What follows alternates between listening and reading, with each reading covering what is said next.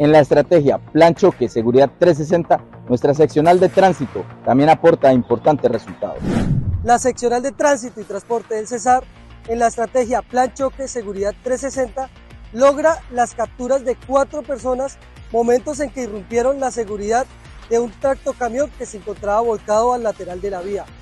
En la rápida reacción, lograron evitar los policías de tránsito que hurtaran esta mercancía.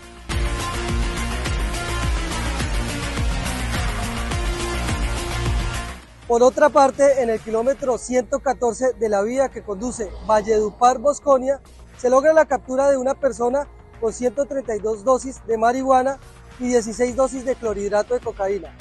Tanto la sustancia como la persona fueron dejadas a disposición de autoridad competente.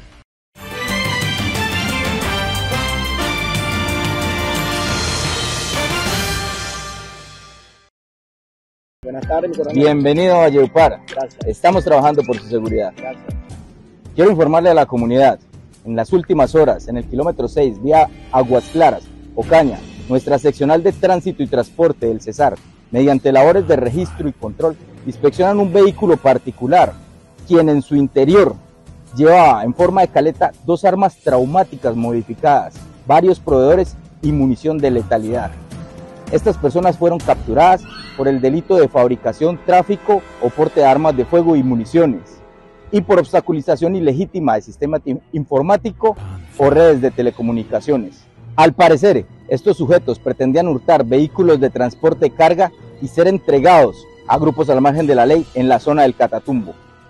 Es de anotar que uno de ellos tenía anotaciones por concierto para delinquir y rebelión un resultado más en la estrategia Plan Choque Seguridad 360.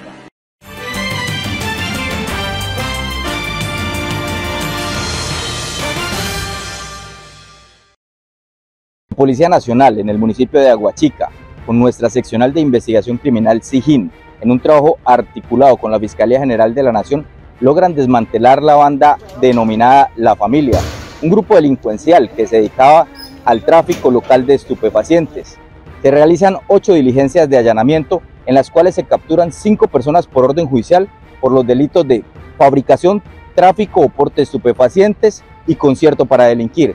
Y cuatro de ellas se capturan en flagrancia por fabricación, tráfico, porte de estupefacientes y receptación.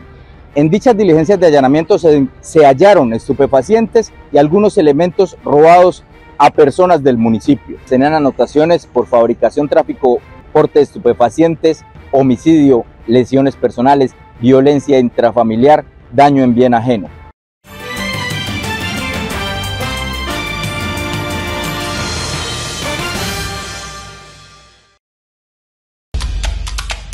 En las últimas horas en el municipio de San Martín, en un trabajo investigativo de la Policía Nacional con su seccional de investigación criminal, SIGIN, articuladamente con la Fiscalía General de la Nación, se realizan 10 allanamientos en los cuales se capturan nueve personas por orden judicial y tres en flagrancia. Se les hallan tres armas de fuego en su poder y estupefacientes.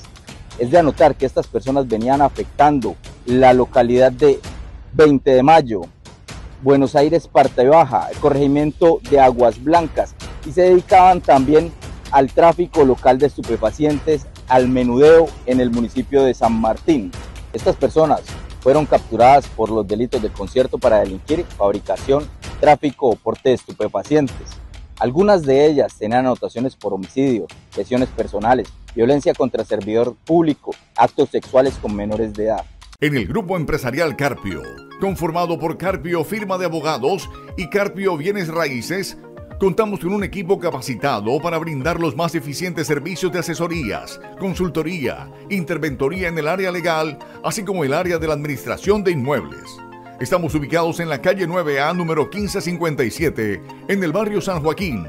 Contáctanos al 316-666-1017.